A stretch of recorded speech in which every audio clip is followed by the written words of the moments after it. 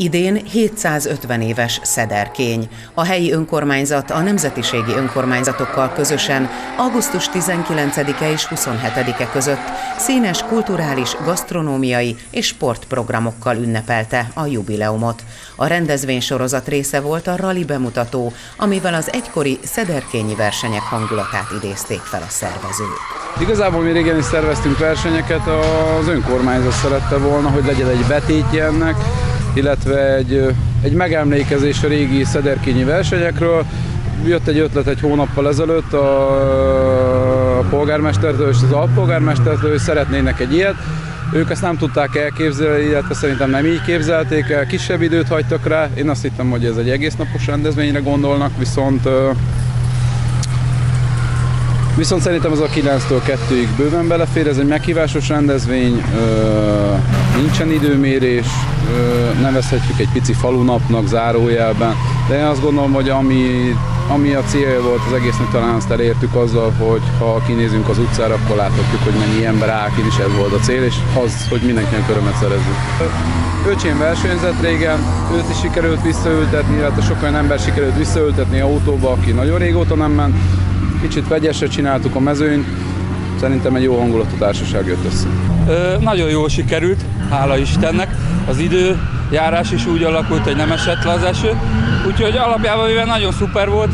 Nagyon-nagyon nagy köszönettel tartozunk a Lepos Zsoltinak, hogy itt Szederkény 750 éves évfordulójára ezt a rendezvényt megszervezte, és fölidézte nekünk a régi emlékeket, ami nem is tudom, talán 25-27 éve volt itt verseny utoljára, úgyhogy nagyon szuper volt minden, és a, a versenyzők is, akik eljöttek, azoknak is a, a Szederkényi realisok nevében nagyon-nagyon szépen köszönöm én is. Megadatott nekem szerencsére, hogy most már um, mióta fölnőttek a gyerekek, 11 éve újra kezdtük úgy mondva hogy az autóversenyzést, szépen föl tudtuk építeni fokról fokra az egészet, úgyhogy voltam már kis kategóriában bajnok, Rally 2-be, országos Rally 2 bajnokságban. Voltam abszolútban harmadik, meg nagyobb kategóriában második, úgyhogy most egy valami van vissza még, hogy a nagyobb kategóriában, ami már ez az autó tudja, abba egyszer még megpróbálok bajnokságot nyerni, de én azt hiszem, hogy nem előttem van a jövő, így 50 fölött már, úgyhogy próbáljuk a fiatalokat valamilyen szinten utólag utólag támogatni. Jó volt, igazából ez egy úgymond kis bemutató versenynek mondható időt nem mérnek, rövid pálya. A hátsó kereskedés autók azok előnyben vannak, a nézőknek az, az, az, az, az jót, jót tesz, mert nagyon látványos nekik. Bói vagyok, de, de vannak szederkényi kötődéseim, igen. Én nekem még nem volt lehetőségem Szederkénybe menni, ugye itt azért nagyon sok év kimaradt, és hát most sok idő után ez az első úgymond verseny itt Szederkénybe. Volt lehetőségem már komolyabb gyári versenyautót is kipróbálni, úgy szálltam ki belőle, hogy nekem a Skoda jobban tetszik. Kaptam ugye ezt az új autót, ez most hátsó kerekes, és most át lett festve, én szerettem volna ilyen zöld színűre.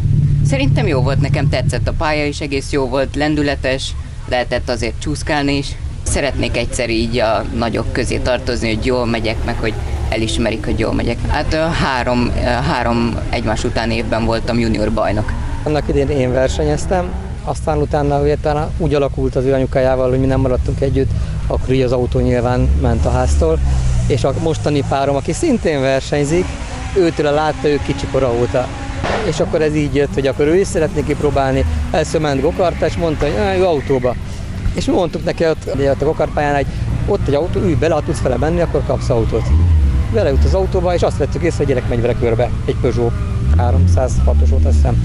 Így jött, akkor így utána karácsonyra kapott egy Asmercét, ami elsőkerekes volt, nagyon sokat szenvedtünk vele, és utána akkor ő mondta, egyszer ment a párom BMW-vel, hogy ő hátsó kerekest akar, és akkor hoztam neki ezt. Utána nyilván, ha becsöveztük, akkor láttuk azt, hogy van értelme, meg azt, hogy gyorsul a tempó, kezd veszélyes lenne a dolog, akkor így becsöveztettük, és akkor így lépegettünk előre, kapott év emszet bele, egy-két dolgot könnyítettünk, variáltunk egy kicsit, hogy még jobb legyen neki.